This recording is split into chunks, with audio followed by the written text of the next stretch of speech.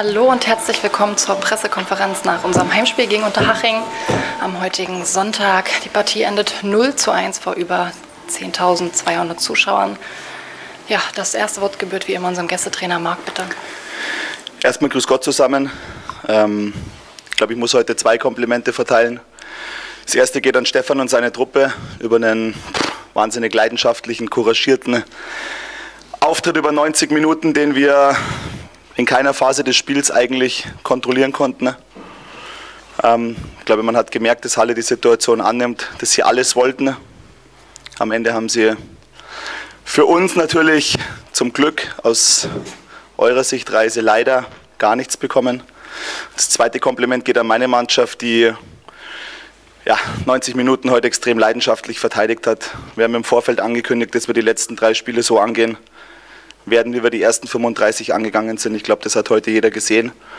Dafür ein Riesenkompliment. Wir waren inhaltlich mit vielen Dingen heute nicht einverstanden, wie wir eigene Ballbesitzphasen ausgespielt haben. Ähm, die Bälle waren viel zu schnell weg, aber Kampf, Leidenschaft, Laufbereitschaft und Charakterstärke reicht dann manchmal auch zum Sieg. Eine Aktion hat uns gereicht. Ich glaube, es gab viele Möglichkeiten, wo wir hätten in Rückstand geraten können, vor allem in der ersten Halbzeit aber auch direkt äh, vor unserem 1-0 als Baumann an Vollert nochmal gescheitert ist. Ähm, ja, für uns, für uns ein glücklicher Sieg heute. Sieg der, Sieg der Leidenschaft. Äh, Reise, ich wünsche euch für die letzten beiden Spiele die maximale Punktausbeute ähm, und äh, hoffe, dass ihr die Klasse haltet. Alles Gute. Vielen Dank. Dann kommen wir zu deiner Spieleinschätzung, Stefan. Ja, hallo zusammen. Auch äh, erstmal von meiner Seite.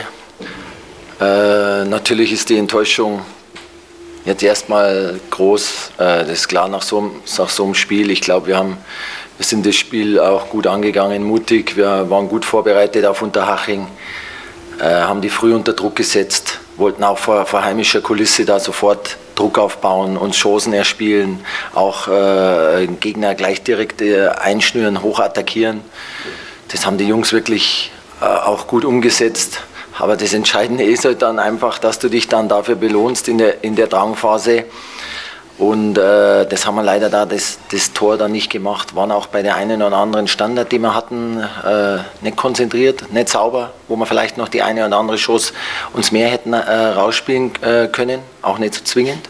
Haben das in der Halbzeit auch nochmal äh, angesprochen. Dann haben wir wieder gut losgelegt und äh, hatten auch nochmal die Riesenchance dann mit, mit Baumann, wo wir in Führung gehen können. Äh, haben wir dann leider auch nicht genutzt und dann mit einer Unaufmerksamkeit, wobei man das natürlich auch ehrlich sagen muss, war auch sehr gut gespielt und wir wussten natürlich auch um die Qualitäten von Unterhaching, das kannst du natürlich auch nicht 90 Minuten verhindern.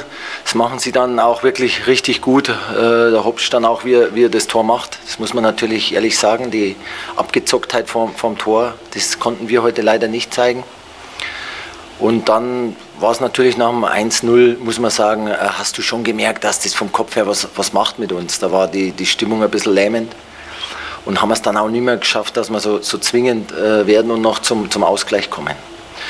Äh, am Ende des Tages ist es natürlich enttäuschend. Wir haben leider keine Punkte mitnehmen können, aber wir müssen wieder die Köpfe wieder oben bring, bringen und, und nach vorne schauen. Wir haben noch zwei Spiele und dann müssen wir auf Sieg gehen. Danke. Dann kommen wir direkt zu euren Fragen und beginnen mit der Mitteldeutschen Zeitung. Christopher Kitsche, bitte. Äh, ja. Sie haben es ja beide jetzt schon gesagt, bis zum Gegentreffer ein Spiel auf ein Tor. Und dann der Bruch so ein bisschen, also vor allem, ja, wie Sie gesagt haben, im Kopf arbeitet es dann einfach dann in der Mannschaft.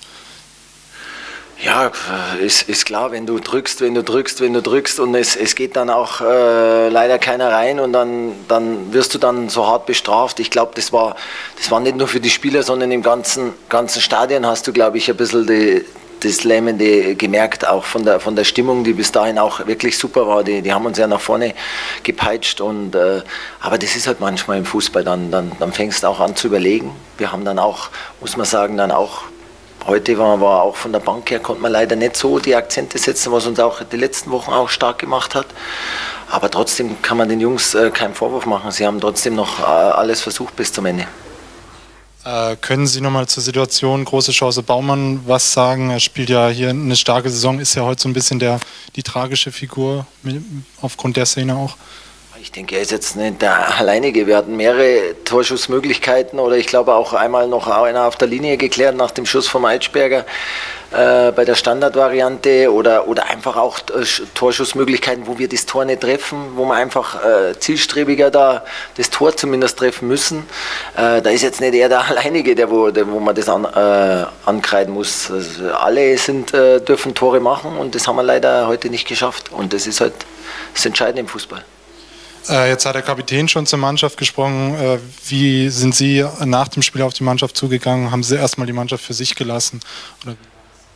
Nee, also es war, ich hatte auch was äh, gesprochen, kurz im, im Kreis, dass ich der Mannschaft, wie gesagt, wir müssen die Köpfe, Köpfe trotzdem oben behalten. Also wir haben, wir haben alles versucht, wir haben, wir haben Gas gegeben, aber wir haben halt leider, leider verloren heute. Capitano hat dann auch noch mal ein, zwei Wörter gesagt und wir müssen natürlich halt, äh, auch das wieder aufarbeiten, dann uns auf das nächste Spiel fokussieren und dann äh, in Bielefeld äh, Attacke das Positive heute, das man mitnehmen kann, dann die Art und Weise und auch über die Saison hinweg auch immer aufgestanden nach Rückschlägen. Ja klar, also ich denke, das Spiel von uns äh, war halt nicht so, nicht so verkehrt. Wir, wir haben das echt gut umgesetzt, haben auch, waren auch gut vorbereitet äh, auf Unterhaching, die gar nicht so ins Spiel kommen lassen, aber manche Sachen kannst du halt dann auch, sind halt dann am, am Rasen entscheiden und da muss einfach das Runde dann ins gehen und das haben wir halt leider leider nicht geschafft hat. Hm. Mit einem Sieg hätte man es heute dann in der eigenen Hand gehabt. Jetzt muss man wieder auf die Konkurrenten schauen. Also heute Abend, klar, schaut man dann auf, was Mannheim dann macht, ja. Ja, äh, sicher, wenn wir das, wenn wir das äh, machen, aber es hilft ja trotzdem auch nichts, weil wir müssen, wir müssen überwiegend auf uns gucken, weil wir müssen schauen, dass wir die Spiele gewinnen und das ist natürlich jetzt im ersten Moment halt schon, schon eine Enttäuschung, das ist klar. Jan Behrendt heute zurückgekehrt, wie, wie haben Sie ihn gesehen? Ähm, ich denke, er hat es im Abwehrverbund auch äh, gut gemacht, so wie die ganze Mannschaft. Ich kann der Mannschaft, wie gesagt, äh, keinen Vorwurf machen. Eine Unaufmerksamkeit haben wir, haben wir zugelassen. Es war aber auch äh, gut gespielt äh, aus der Umschaltsituation. Ein guter Steckpass vom Kartenmacher und das macht der Hopsch natürlich dann auch gut, weil du es auch nicht über 90 Minuten komplett auch verhindern kannst, dass die gar keine Torchance haben. Und äh, das ist halt einfach dann äh, schade, dass man dann nicht zumindest mit 0-0 nach Hause gehen. Alles klar, vielen Dank. Dann Marc, euch eine gute Heimreise und euch eine, einen eine schönen Sonntag. Noch, eine Frage wäre schon noch gegangen. Ach so. Eine, wär, eine hätte ich noch akzeptiert. Nö, nö, ich, äh, das, ich war sowieso durch, wenn ich Das denke ich auch und einen schönen Sonntag und bis nächste Woche in Bielefeld. Vielen Dank.